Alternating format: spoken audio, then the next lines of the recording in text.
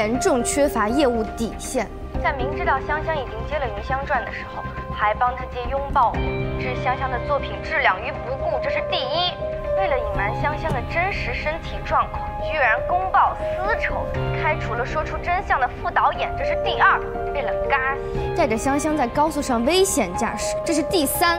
我们粉丝联名提出严正声明：无良经纪人莫向晚，今天必须下课。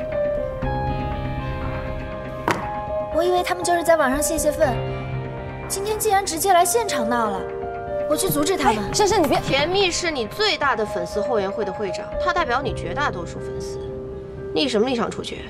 遣散后援会吗？难道向婉姐没跟你说过，作为艺人，不论做任何决定都要把粉丝放在第一位吗？可是他们现在以我的名义在围攻向婉姐，向婉姐她是有问题，可是不应该以这样的方式吧？而且今天是我生日。我一定要阻止他们！香香，你别拦着我！向文姐让我看住你，让你千万别管这件事儿。为什么？她说她得保护好你啊！我也要保护她。香香，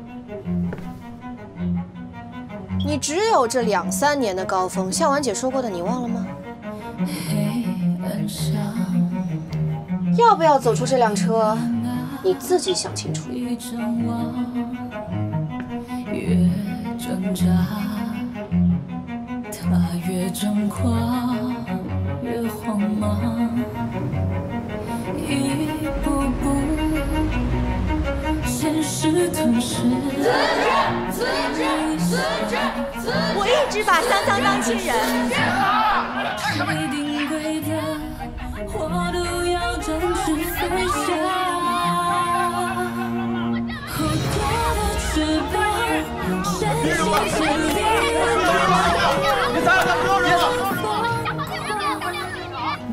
如果你是莫小婉的话，会怎么办？我想我回去死。